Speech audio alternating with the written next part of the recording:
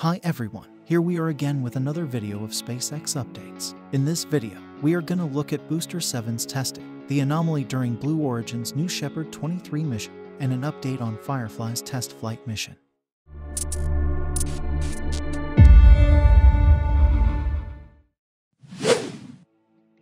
Right now, the Highway 4 at Boca Chica is closed for Starship Booster 7 testing. An overpressure notice was handed out yesterday for a potential static fire involving many engines. The testing had a good start filling up the tanks on the booster.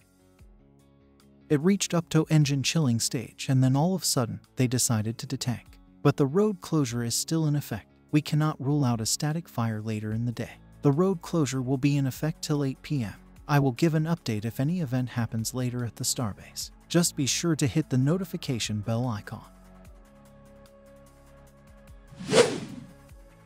Earlier this morning, Blue Origin attempted to launch its NS-23 mission from the West Texas Launch Site 1.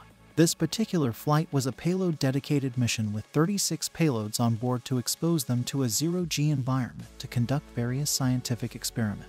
The new Shepard Booster 3 lifted off from the pad as usual, but after a minute and 4 seconds into the flight, the vehicle suffered an anomaly, and the emergency escape system, or the capsule escape system, was activated immediately, sending the capsule to a safe distance from the booster. The mission was cut short and didn't meet its goal, but the capsule landed safely after a few minutes. Unfortunately, the booster crash landed and exploded.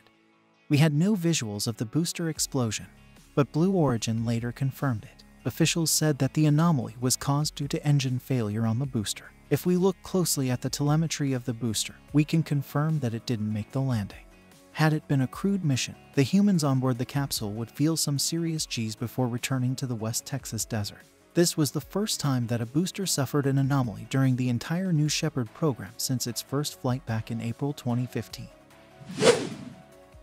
Firefly Aerospace scrubbed its attempt to launch its second test flight mission yesterday. Due to a helium pressure drop in the second stage of its Alpha rocket, the launch attempt was called off for the day. They will go for a second attempt today during a 4-hour launch window starting at 3 p.m. PDT. If you want to see it live, check out Everyday Astronauts YouTube channel. Well, that was a short update. Hope you enjoyed it. See you next time.